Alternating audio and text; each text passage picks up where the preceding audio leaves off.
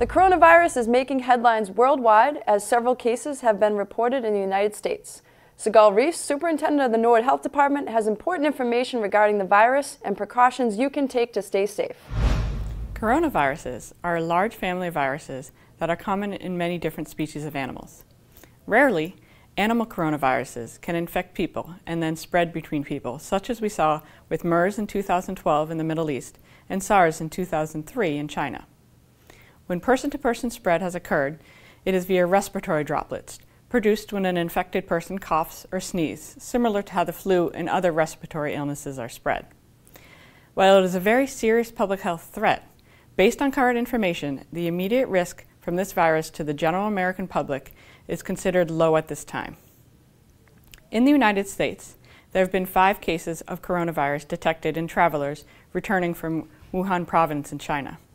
No person-to-person -person spread has been detected in the United States at this time, and the virus is not spreading in the community. The Centers for Disease Control and Prevention is screening travelers at 20 U.S. airports as part of its effort to identify people with the new coronavirus who are traveling to the United States from China.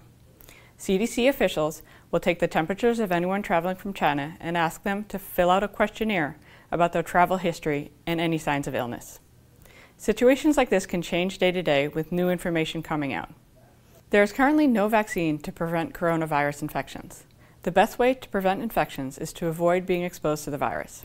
However, as a reminder, we always recommend everyday preventive actions to help prevent the spread of respiratory viruses. Wash your hands often with soap and water for at least 20 seconds. If soap and water are not available, use an alcohol-based hand sanitizer. Avoid touching your eyes, nose, and mouth with unwashed hands. Avoid close contact with people who are sick. Stay home when you are sick. Cover your cough and sneeze. Clean and disinfect frequently touched objects and surfaces.